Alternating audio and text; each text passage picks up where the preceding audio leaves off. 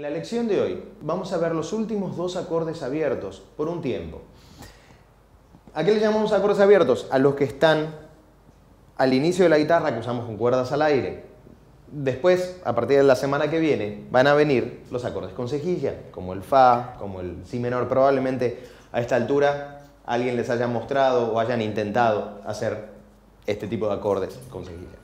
¿Cuáles son los últimos dos acordes abiertos que tenemos? Dos acordes mayores el Mi, Mi mayor y el La.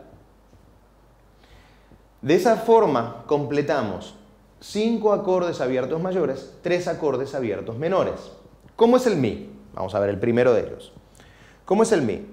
La manera más fácil de pensar en el Mi es pensar en un La menor con todos los dedos una cuerda más arriba. Subo una cuerda, todos los dedos. Me va a quedar dedo 1 en la tercera cuerda, primer traste, dedo 2 en la quinta cuerda, segundo traste, y dedo 3 en la cuarta cuerda, segundo traste. Otra manera de pensarlo es como un mi menor al que le pongo el dedo 1 en la tercera cuerda. Suena así.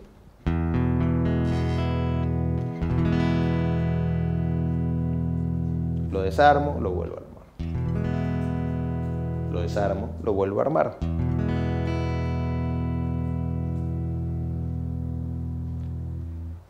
Vamos a hacer el otro acorde, el acorde de La. ¿Cómo me va a quedar? Vamos a de nuevo vamos a trabajar con dos digitaciones diferentes. ¿Qué dedos lleva el acorde de La?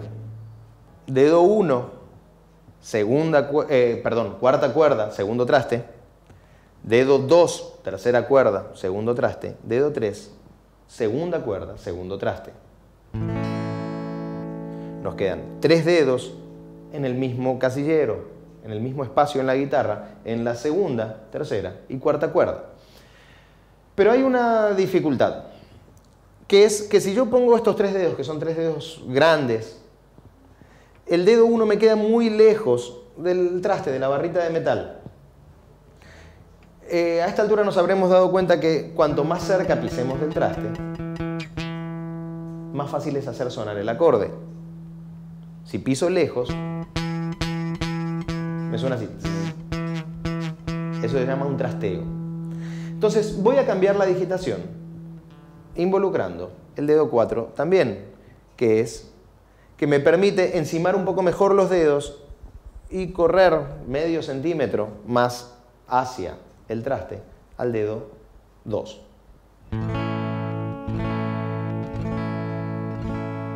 Tiene, el, usar esta digitación tiene otras, otras ventajas que las vamos a ver más adelante, que es para poner bien acordes con cejilla. Entonces, Personalmente me resulta mucho más cómodo hacer el acorde de la mayor con estos tres dedos. Yo lo voy a hacer de esta manera. Si a alguno le cuesta coordinar un poquito el dedo meñique para ponerlo dentro de un acorde, podemos hacer tranquilamente con estos tres dedos, sabiendo que probablemente ese dedo tienda a trastear un poco, o sea, vamos a tener probablemente que hacer un poquito más de fuerza. Vinculamos los dos acordes, mi y la.